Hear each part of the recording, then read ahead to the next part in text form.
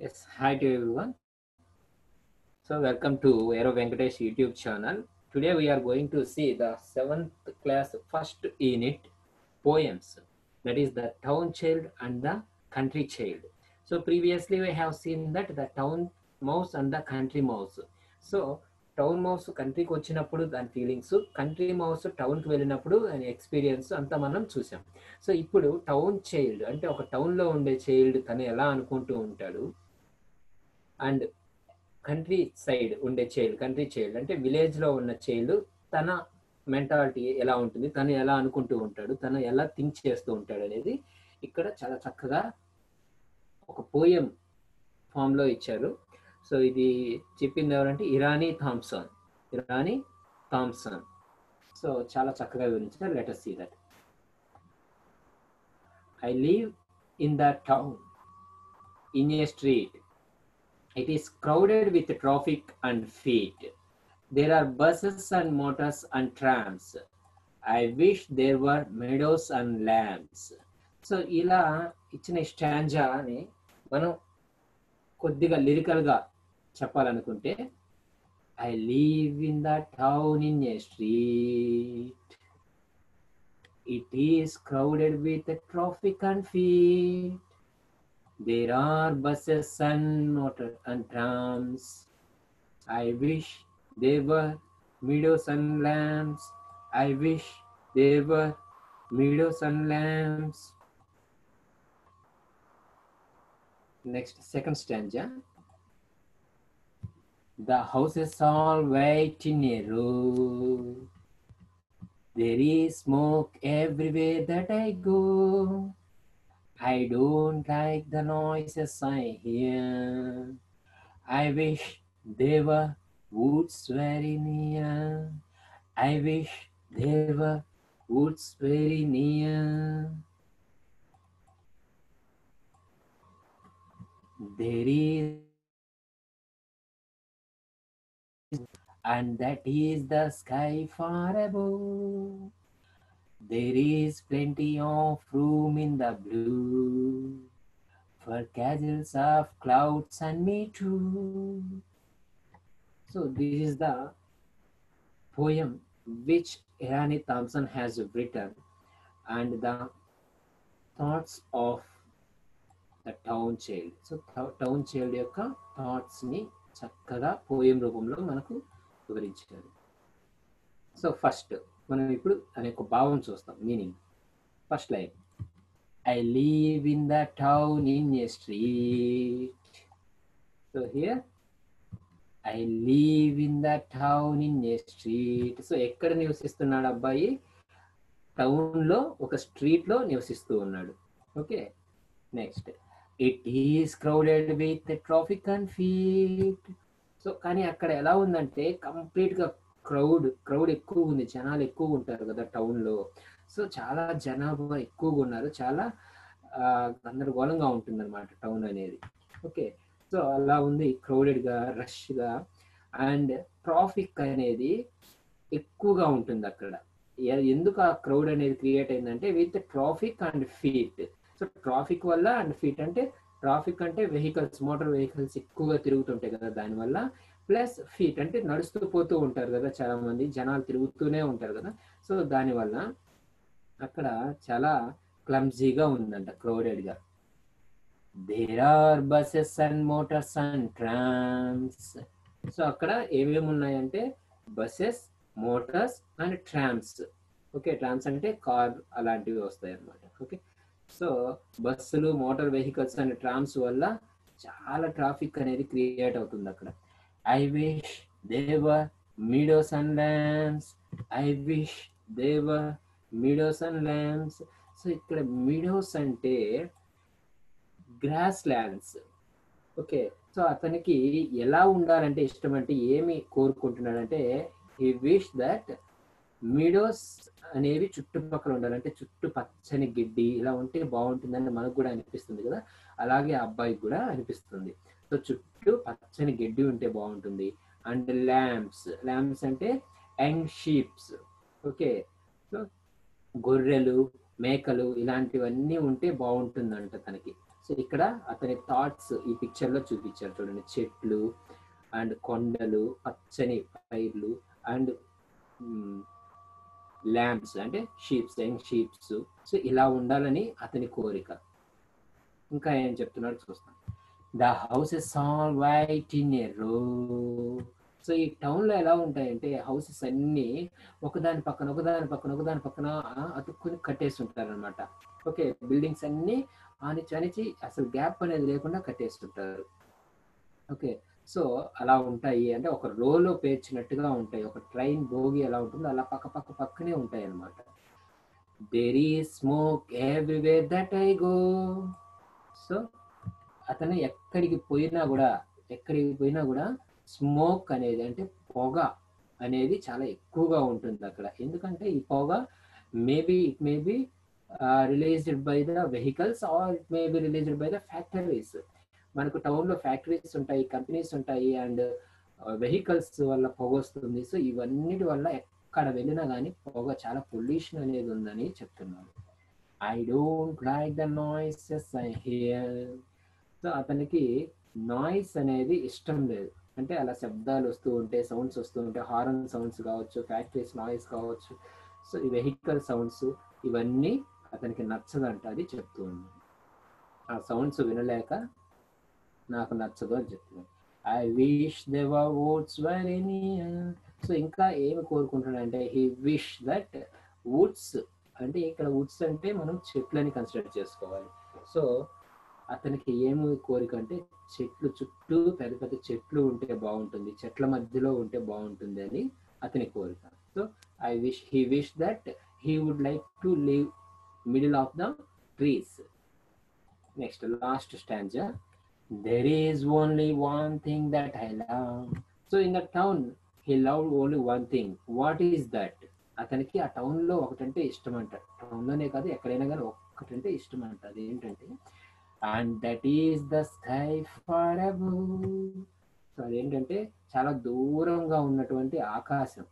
So అతనికి ఆకాశం అంటే ఇష్టం అంట ఎందుకంటే ఆకాశం అయితే పీస్ఫుల్గా ఉంటుంది. అక్కడ ఎలాంటి ట్రాఫిక్ ఉండదు ఎలాంటి సౌండ్స్ ఉండవు ఎలాంటి పొల్యూషన్ ఉండదు.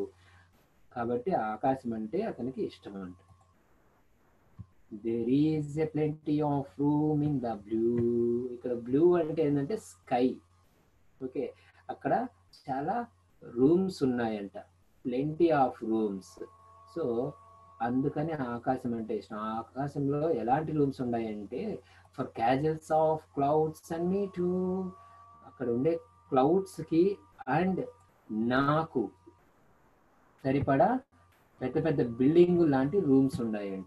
ఓకే అంత విశాలమైన ప్లేస్లో ఆ క్లౌడ్స్ని అతను ఒక రూమ్ లాగా కన్సిడర్ చేసుకుంటున్నారు? ఆ క్లౌడ్స్ అనే రూమ్స్ ఎలా ఫామ్ అవుతున్నాయంటే ఒక పెద్ద బిల్డింగ్ అంటే క్యాజల్స్ అంటే buildings large buildings okay so there is a there is a plenty of room in the blue అక్కడ చాలా రూమ్స్ ఉన్నాయి. అవి ఏవంటే for castles of clouds and me too so ఆ క్లౌడ్స్తో ఫామ్ అయినటువంటి రూమ్స్ అనేవి చాలా పెద్దవిగా నా కోసం ఉన్నాయి అని చెప్తున్నాను.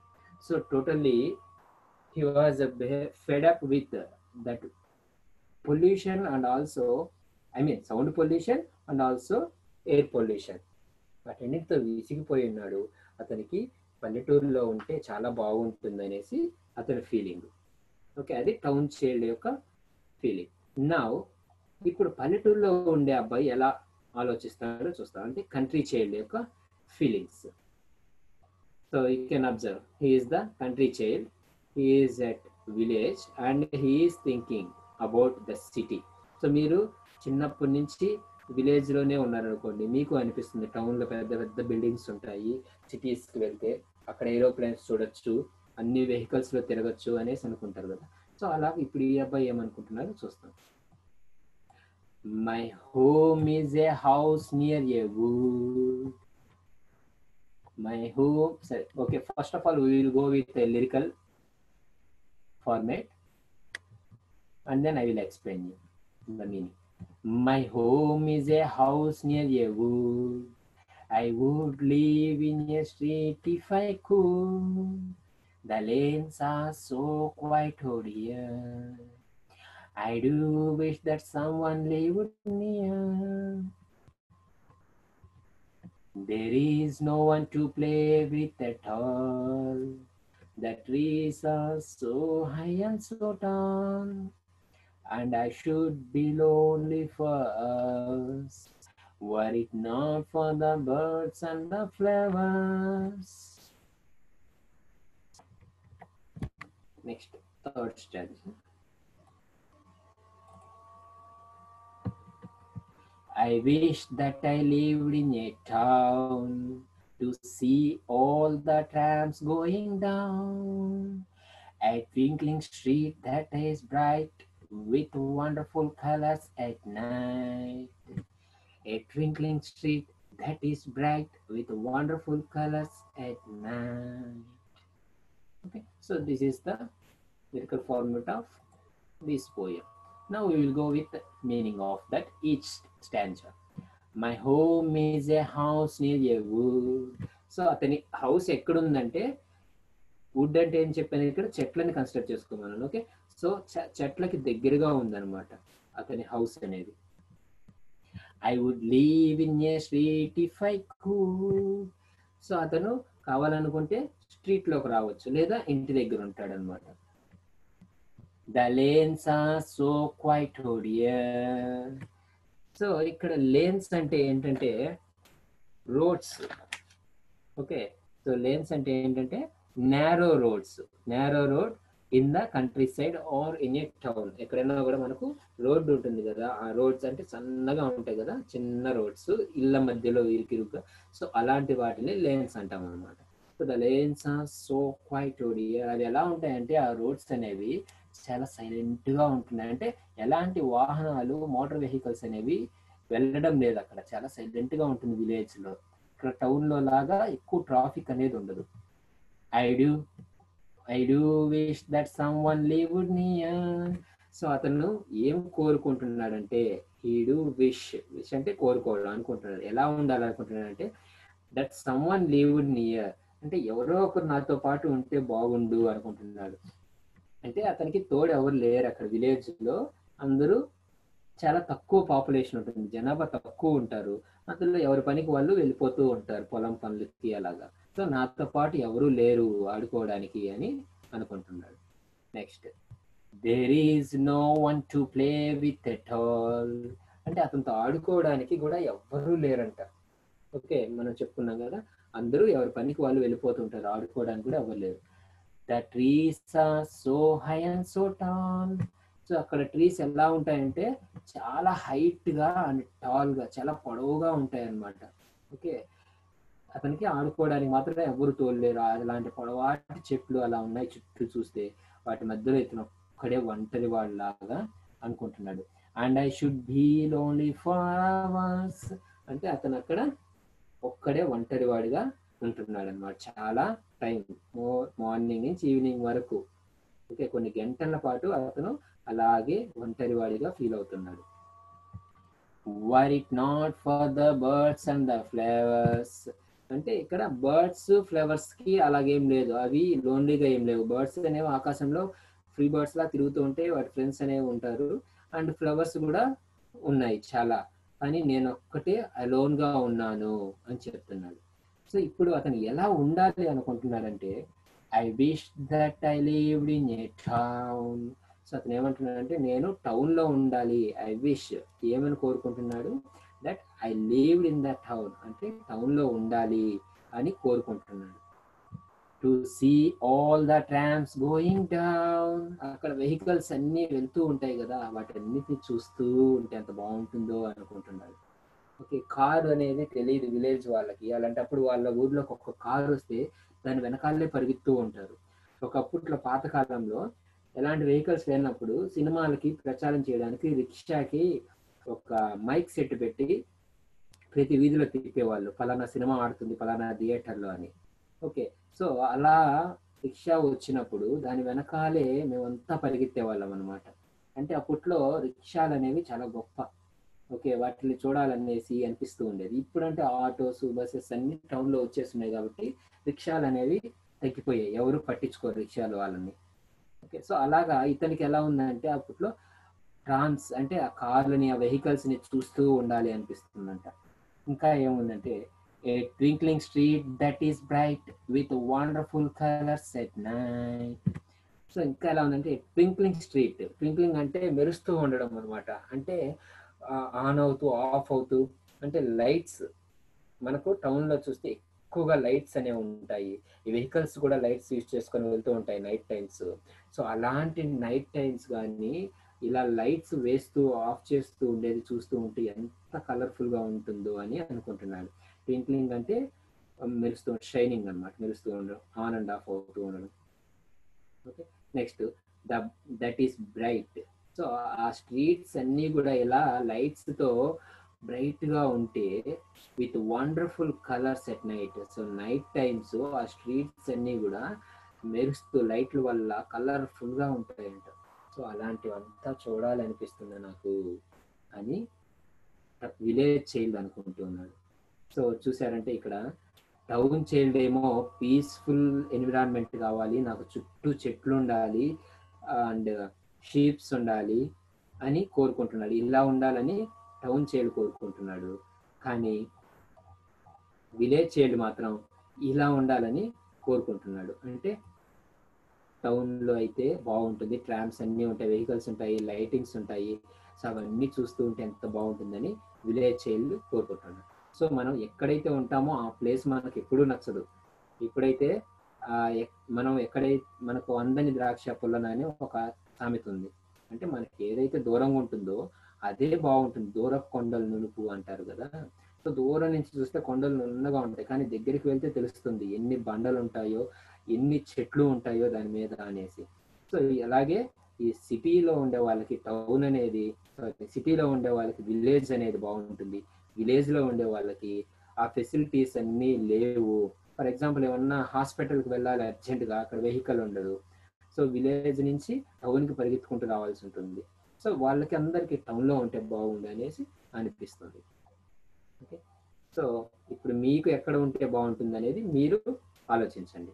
So here the glossary is feet అంటే people who walk in streets okay అక్కడ నడుస్తూ ఉంటారు కదా వాళ్ళని ఫీట్ అని చెప్తున్నాడు అనమాట next tram and electric vehicle that transports people in cities so electric vehicle vehicle అనమాట ఇది ఎలక్ట్రిసిటీతో నడిచేది.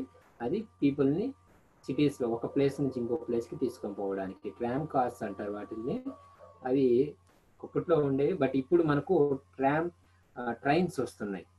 ఓకే సో అంటే రోడ్డు పైన నడుస్తాయి అవి. ట్రామ్స్ అనేవి ఎలక్ట్రిసిటీని యూజ్ చేసుకొని. నెక్స్ట్ మిడో అంటే a field with grass and open wild flowers so meadow అంటే ఆల్రెడీ చెప్పాను.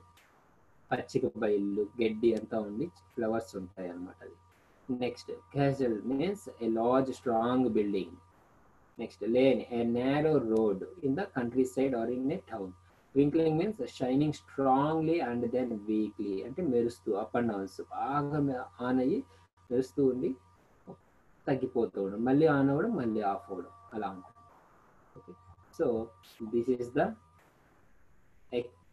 thoughts feelings of country child and the town child. Okay. So thank you for watching my video and for more videos so please subscribe to my channel. This is Venkatesh Adava. Okay. Thank you so much.